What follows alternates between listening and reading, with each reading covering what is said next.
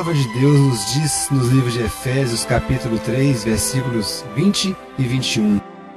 Ora, aquele que é poderoso para fazer infinitamente mais do que tudo quanto pedimos ou pensamos, conforme o seu poder que opera em nós, a ele seja a glória na igreja e em Cristo Jesus, por todas as gerações, para todos sempre. Amém.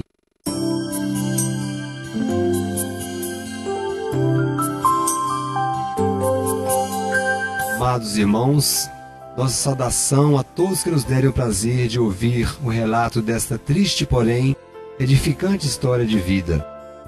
Venho aqui para relatar-lhes esta minha experiência.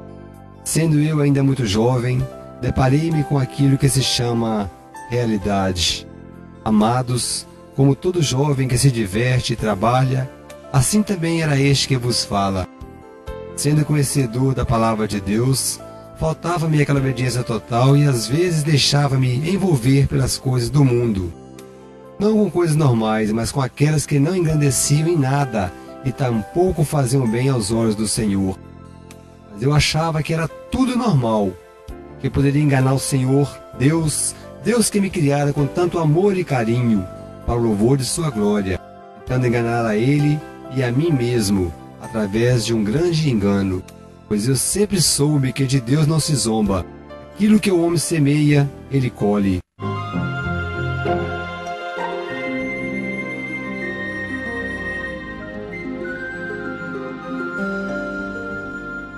Eu, sempre elogiado, me deixei levar pela lisonja, não retornando a glória para quem de direito.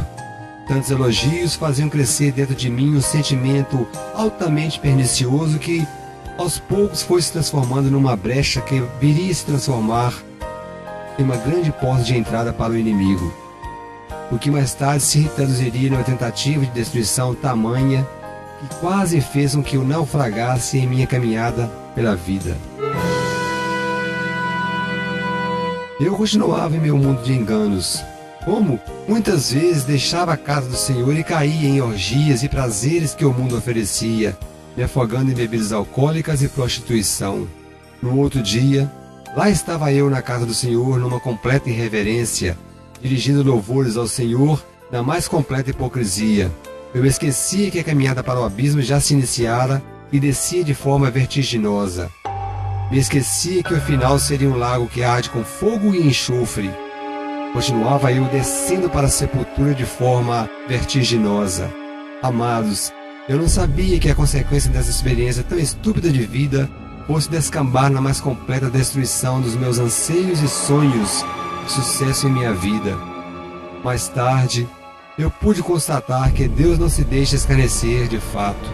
Ainda hoje posso me lembrar dos momentos em que passei a sentir na própria pele o peso de minha traição. Fui tomado de uma enfermidade que dilacerava todo o meu corpo eu não entendia, mas sabia que algo muito sério estava me acontecendo.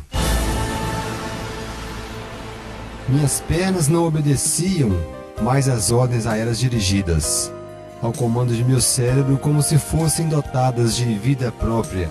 Meus braços de igual forma negavam ao comando dado a eles.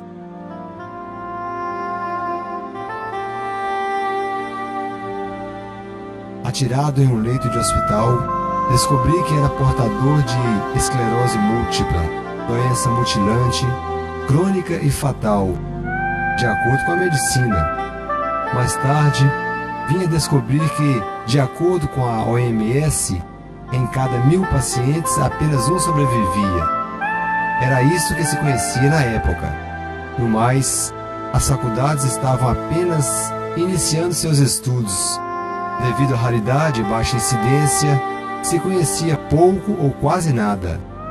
Amados, aquele jovem que antes andava em possantes motocicletas e carrões e de emprego invejado, estava então completamente limitado e dependente de uma cadeira de rodas, levado pelos braços de pessoas para fazer as tarefas mais simples e coloquiais. E o que antes era carro, hoje passou a ser uma cadeira de rodas. A voz que antes louvava ironicamente não mais podia ser articulada de modo normal, sem mostrar sua deficiência completamente desarticulada. Estava eu ali, reduzido a nada com meu orgulho e minha vaidade completamente feridos. Amados, eu senti uma solidão profunda. Agora estava ali completamente só e abandonado por todos, com o corpo dilacerado pelo preço de meus erros. Mas no íntimo da minha alma restava uma pequena e tênue esperança. Uma luz começava a iluminar aquele túnel de dor e sofrimento. Aquele Deus que me aceitara aos 12 anos de idade não me abandonara. Aleluia! E dentro da pouca força que me restava, levou-me a fortalecer minha fé dentro daquilo que eu ainda acreditava, a Bíblia Sagrada. Foi então que o grande milagre veio acontecer.